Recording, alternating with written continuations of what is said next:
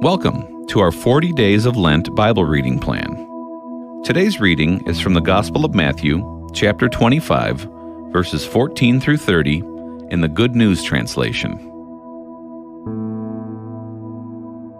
At that time, the kingdom of heaven will be like this. Once there was a man who was about to leave home on a trip. He called his servants and put them in charge of his property. He gave to each one according to his ability. To one he gave 5,000 gold coins.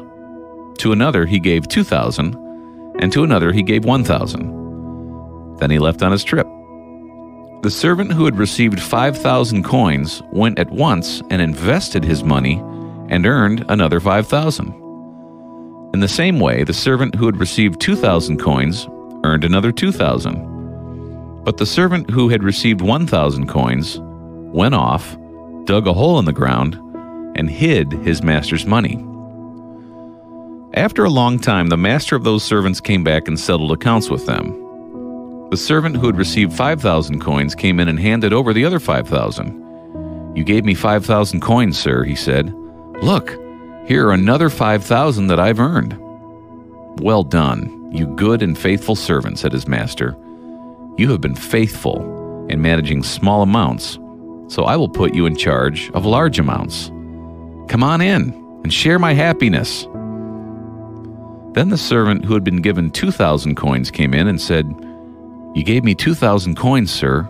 Look, here are another 2,000 that I've earned. Well done, you good and faithful servant, said his master. You have been faithful in managing small amounts, so I will put you in charge of large amounts. Come on in and share my happiness.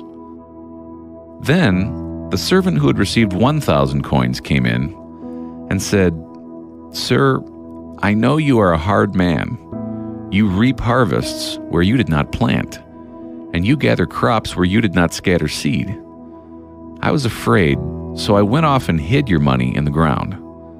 Look, here's what belongs to you.